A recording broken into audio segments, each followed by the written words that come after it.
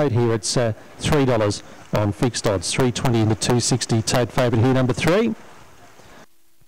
In uh, quite steady rain here at Sale for the third last tonight. And they're set to go.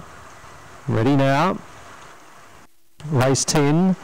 And away they go too, and uh, nicely out there was Dr. Kestrel, although it was then headed by Princess America Philip Keeping, and uh, further back behind they See Me Snoop got through to third, although it was shuffled back as Morris Destiny Flora.